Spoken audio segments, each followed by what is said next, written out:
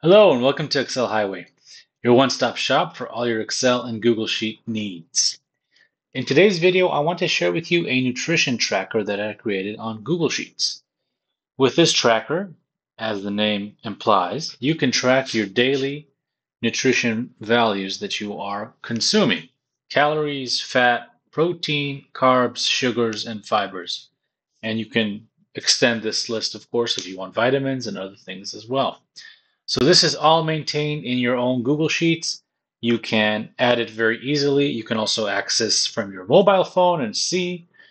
And let me walk you through how I built this step one step at a time. If you're interested in these kind of content, please hit that subscribe button as I am uploading new content all the time.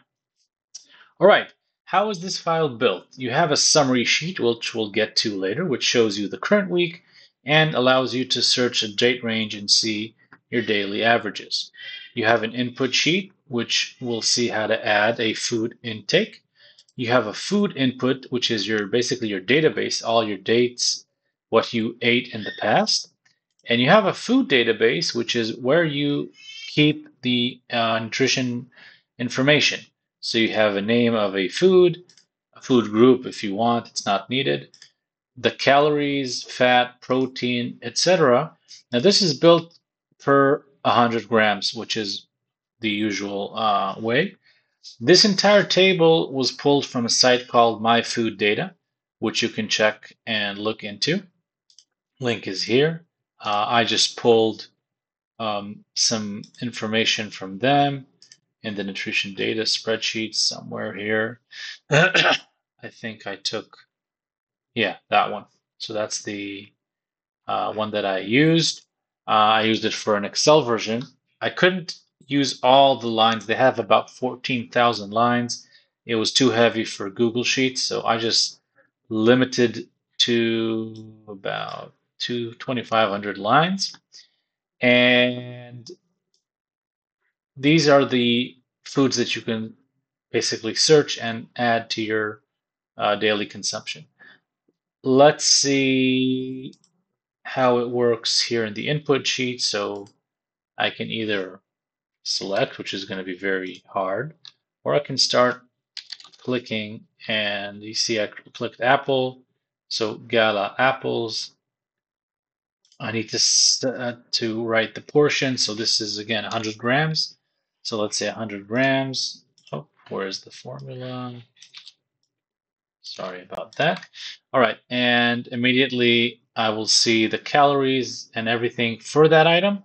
And I also have a total here just so I can see, uh, let's say if I have syrups, maple, let's say 0 0.5, I don't know, something like that.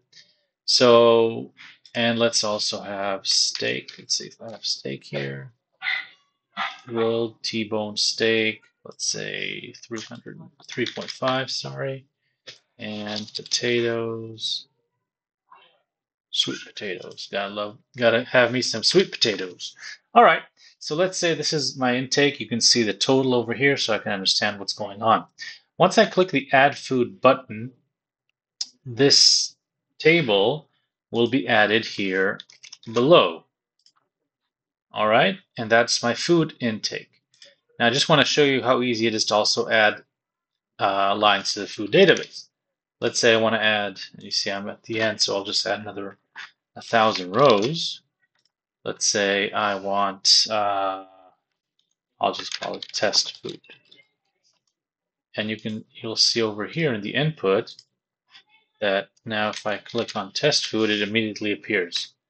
Easy as that. That's all you need to do. Add the name and the information. Let's say you have a, a Monday meal that you always generate or like a, a salad, your own salad or whatever. You just want to, instead of selecting uh, cucumber, lettuce, and tomato, you can just have a name, uh, my salad, and have the data over here. And then you can just search for it very easily. So let me show you uh, how it works. I selected four items, four food types you'll see in the food input for today, which is the 26th. I have uh, these items so far. Go ahead and click on add food. This is a app script that runs in the background. Just want to check that it didn't delete. And it should add lines over here. Those are the lines that we just saw together. Very easy, very simple. Now, the input, the add food, add food uh, part is, let's say, the tricky part of this entire sheet. Uh, if you don't, if you don't want to do it, you can just take these lines, copy, paste, right, by values, and then add the date over here. And that basically mimics the, the process here. This is a table. There's nothing here, just data. Okay. So that's the input. Uh, this is a drop down, very simple to do. Data, data validation, um, add rule just for this one. Select drop down from range, click this, then go over here, highlight A2 and keep A without a number. That's going to give you the last row that's available. And because this is a very big database for Google Sheets, takes a while for it to compile the list. But once it does, you're good to go. Okay, now I don't need this, so I'm just going to delete it.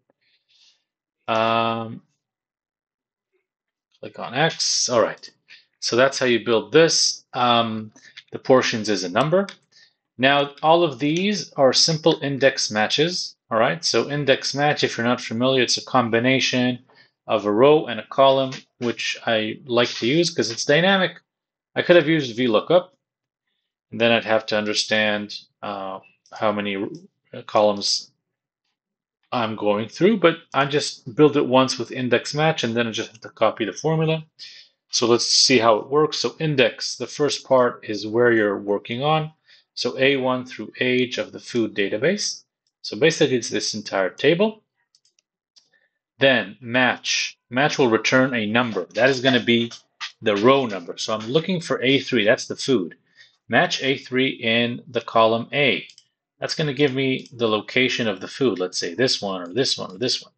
Then I need the column. Am I in calories, fat, or protein? So that's the second match. It's going to look for the, the header which is over here, the calories. And you'll notice that this is on the A1 through H1. So it's basically here. So that's how you build that. And the last part is the zero, which means it's an exact match, which you must have. You'll notice I'm multiplying by B3, which is the number of portions. And if there's nothing, the if error helps me if I don't have any food selected. So I just want to be visually uh, appealing and also uh, not to mess up my calculations here. If I don't have the if error, it's just going to show an A and then it messes up everything. So that's the input sheet. Let's jump to the summary sheet and in the end we'll look into how to create this button. Summary sheet, we have the current week. You set up the daily targets. This is manual. The, the, the uh, peach colored are manual. And it's going to show you the current week from Monday through Sunday, no matter what day you are. What is the uh, consumption of calories for each day? Of course, this is showing the future because this is just uh, dummy data. It's going to show you the daily average, okay? And it's going to show you in red every time you're above your target. So if I now increase my target, you'll see uh, I'm okay. If I take this down, then I'm not okay over here. So that gives you the ability to understand how you're operating. How, how is this built? This is a number, the daily average. You can see I have an if error, average if.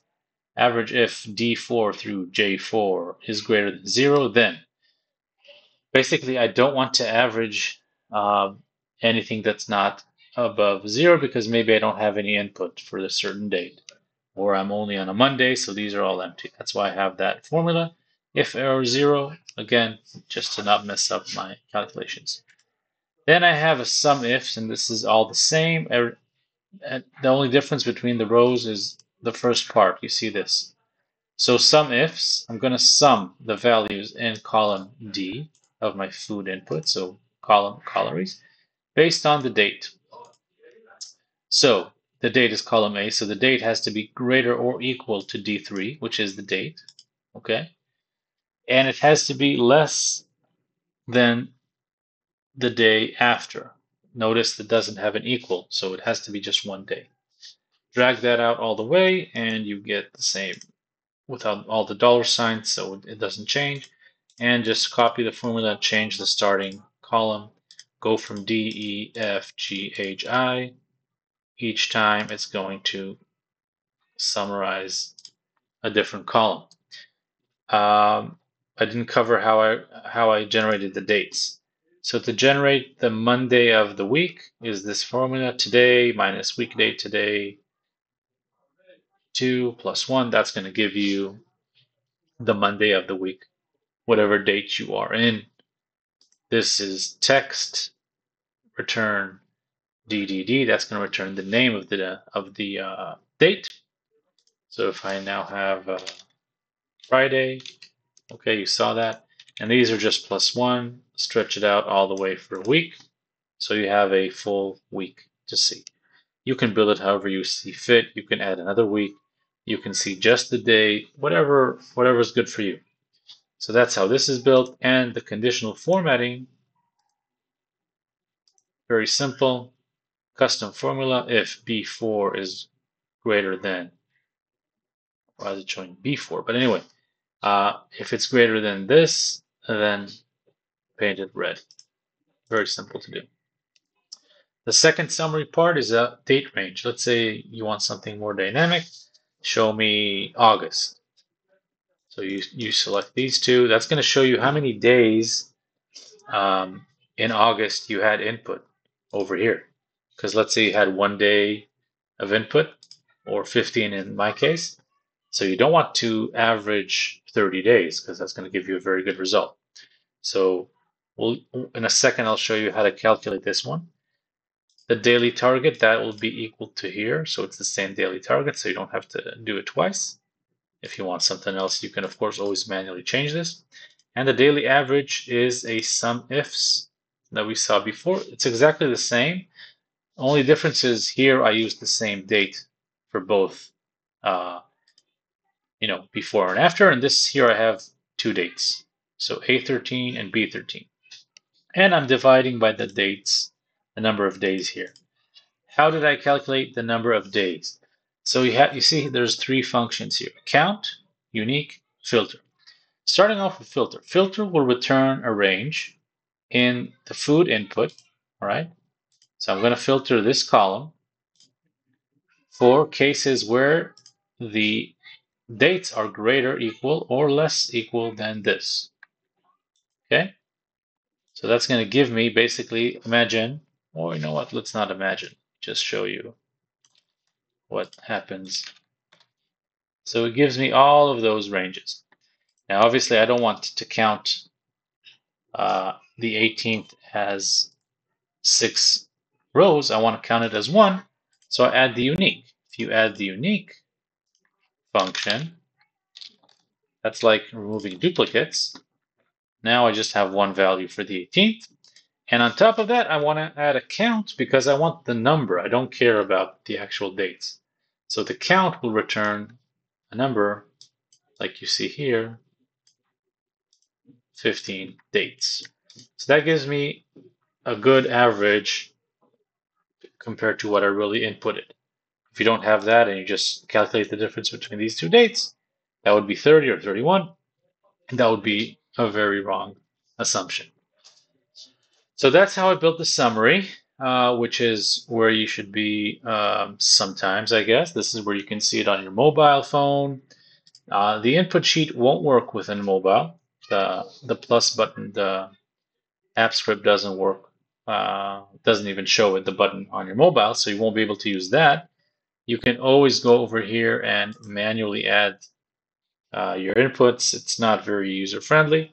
So use the desktop version. Um, I think it's good enough. Let's take a look at how I created uh, the uh, app script to update the food input. You can just create a drawing for the button using insert drawing and I created the icon in Canva. So clicking on image, I used um, something and just browsed over here and you see I have it over here.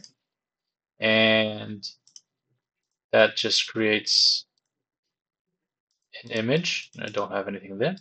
And then you click here and click on assign script and assign the script that I have.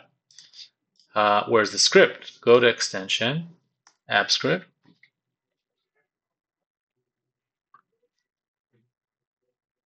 This is a nutrition tracker. This is the function copy range to food input. Um, so basically you have a declaration of a spreadsheet and the two sheets based on their name. I need the last row. This is how you do it. Then I want to see, I want to copy basically that range. Okay, from A3.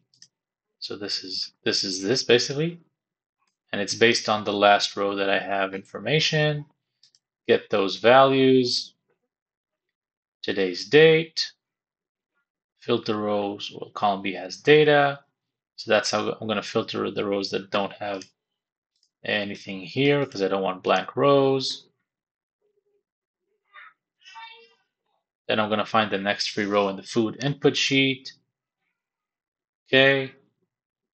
Prepare data to include today's date. You can see everything. And copy the data to the next free row. This is the functions. And at the end, I'm going to clear the contents of column A and B. So I have a new oh, sorry, I tracked that. So I have a fresh start for the next input. All right, so food database, you can add rows. Food input saves your previous inputs. Input, you add your intakes. And summary, track your daily progress. I hope you enjoyed the video. If you did, please hit that like and subscribe button and rate, write a comment. I'm always happy to reply. Have a good day.